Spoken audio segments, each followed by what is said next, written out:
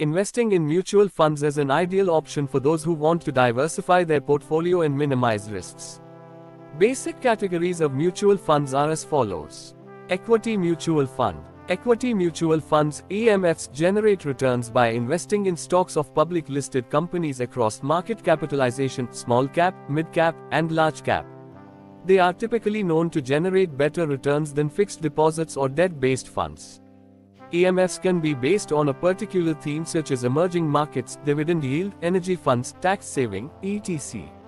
It can also be based on different sectors such as financial services, automobiles, and fast moving consumer goods FMCG. Debt mutual funds. These funds invest in fixed income securities such as corporate bonds, treasury bills, commercial papers, and government securities. Such debt instruments have a predetermined maturity date and interest rate that the buyer can earn at the time of maturity. It can be a preferred choice for passive investors that have a low risk appetite. However, movements in interest rates pose a risk to debt fund investors. Interest rate risk is the potential investment loss that results from a change in interest rates.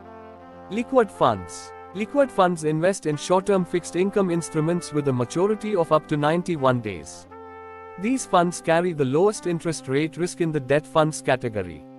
Liquid funds are an alternative to depositing your money in a savings bank account as it offers better returns. Index funds. An index mutual fund invests in a portfolio of stocks that track or imitate stock market indices such as the NSE Nifty and BSE Sensex. They are passively managed funds that have exposure to securities present in the underlying index in the same proportion. It aims to match the returns offered by the underlying index. Index funds could be opted by those who prefer predictable returns without taking a lot of risks.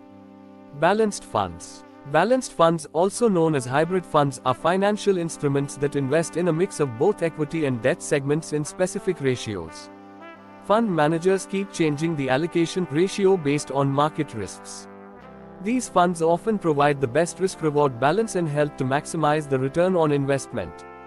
Fund of Funds Fund of Funds FOFs is a type of mutual fund that utilizes the money pooled from its clients to invest in various other types of mutual funds available in the market.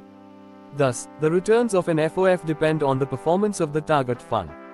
Tax Saving Funds ELSS. An equity linked savings scheme ELSS is a category of mutual fund that helps in saving tax.